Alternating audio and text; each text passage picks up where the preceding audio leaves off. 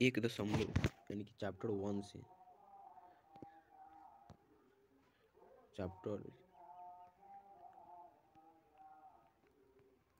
Chapter one से बार बार पूछे जाने वाला क्वेश्चन तो देखिए चैप्टर वन से बार बार पूछे जाने वाला क्वेश्चन जो है, एक एक दशमलव एक से, एक नंबर में से, तीनों में से एक हर एक साल रहता ही रहता है। तो यह आप लोग कर लीजिएगा और एक, तीन नंबर कर लीजिएगा।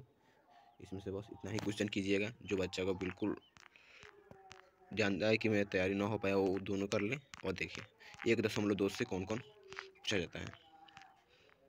तो आइए हम दिखाते हैं एक दशमलव दो से?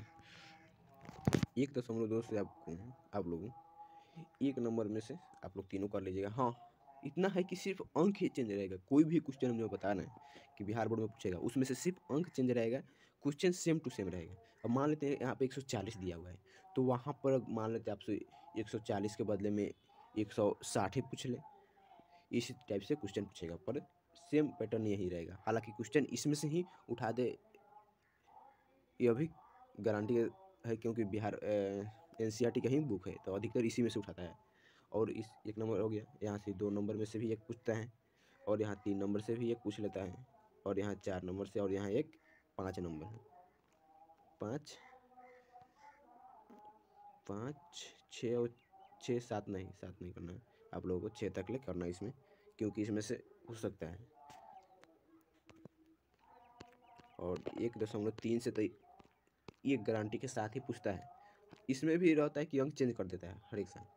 कोई गारंटी नहीं कि बुक के ही क्वेश्चन इसी में से कोई एक उठा के दे। पर इसी पैटर्न पर एक क्वेश्चन ज़रूर वो भी पूछेगा उसमें भी। तो एक दशमलव तीन को तो सारा क्वेश्चन ही कर लेना।